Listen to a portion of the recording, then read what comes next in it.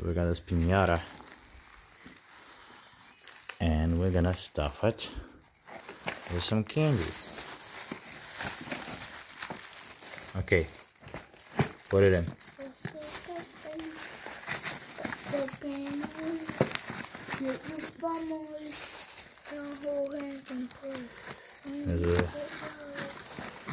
A, and the hole goes all the way to the head and uh, all in here and the legs and all that Get get some pops.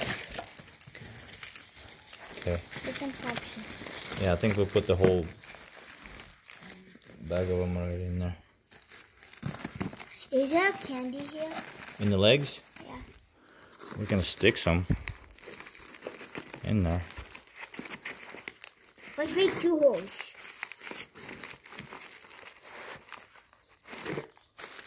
Okay.